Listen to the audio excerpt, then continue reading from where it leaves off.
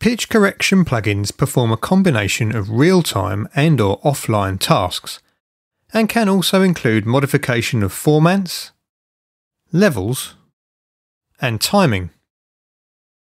The plugin usually includes its own timeline window for editing, and full DAW integration is becoming more commonplace. Here we're using Melodyne within Studio One. Most pitch editing plugins need to analyse the audio.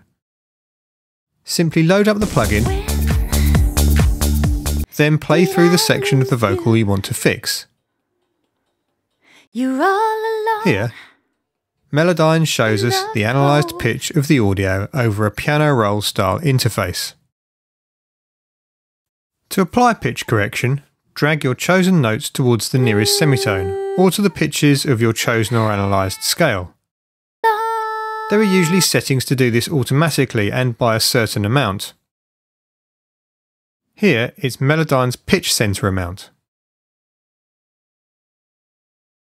And there are also adjustments for pitch drift and vibrato through the word.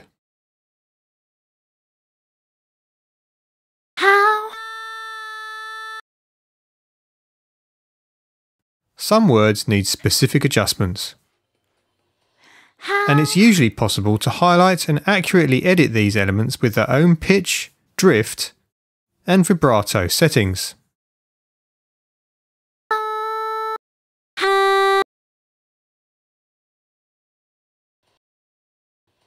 How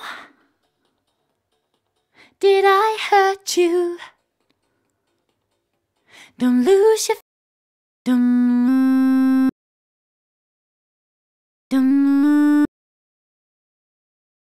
Don't lose your faith in this.